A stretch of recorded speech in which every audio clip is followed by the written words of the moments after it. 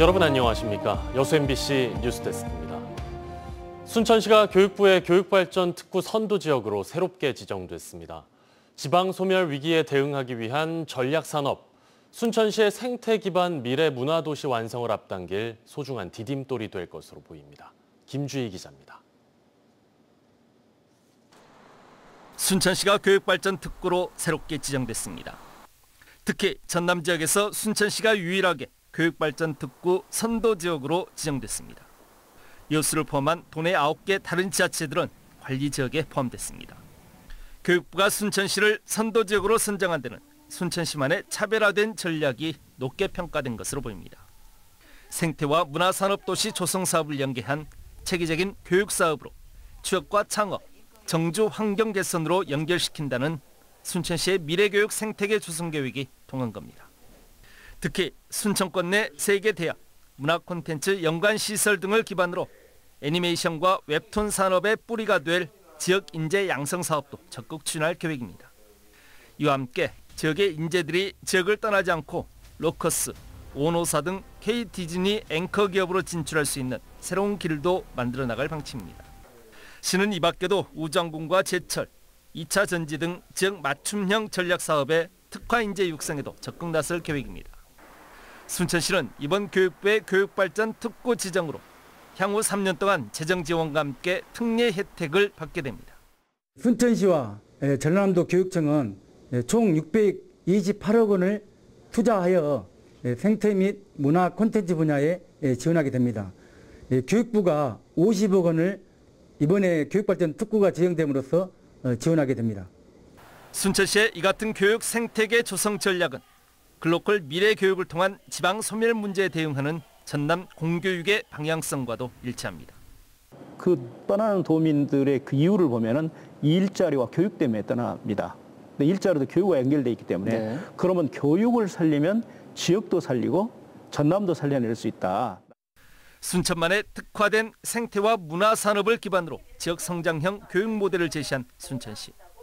이번 교육발전 특구 지정은 순천시의 미래 생태 문화 도시 조성을 위한 또 한 번의 소중한 디딤돌이 될 수 있을 것으로 보입니다.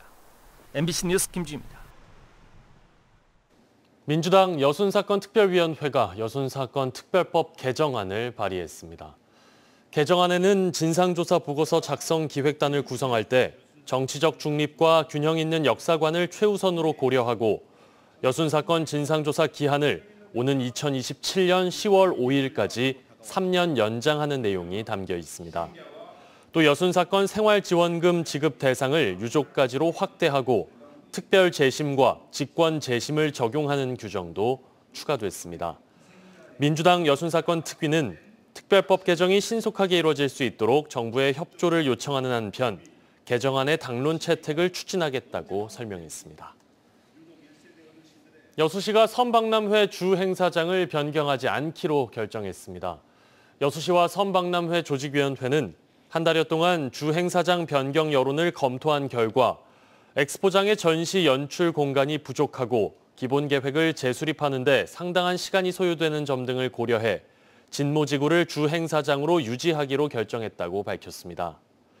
여수시와 조직위는 진모지구의 접근성 개선을 위해 셔틀버스를 적극 활용하고 여수 엑스포항과 개도, 금오도를 오가는 부정기 여객선 운항도 검토할 예정이라고 설명했습니다. 연일 낮 최고 기온이 35도에 육박하는 찜통 더위가 이어지고 있습니다. 이런 더위에도 쇠를 달구고 망치질을 하는 대장간이 있습니다. 뜨거운 날씨에 취약한 어르신들은 더위를 피해 경로당에서 시간을 보냈는데요. 폭염 속 풍경을 최황지 기자가 취재했습니다. 50년간 운영된 여수 유일의 대장간. 무쇠도 녹이는 섭씨 천도의 불길에 대장간은 한증막입니다. 달궈진 쇠를 손질하는 대장장이가 줄줄 흐르는 땀을 닦아냅니다. 아니 더운 게 다 힘들죠. 나만 힘들겠어. 이런 사람 다 힘들지. 오래된 선풍기 한 대가 열기를 식혀보지만 역부족입니다. 폭염이 연일 이어지고 있지만 꾸준히 찾는 단골이 있어 문을 닫을 수 없습니다.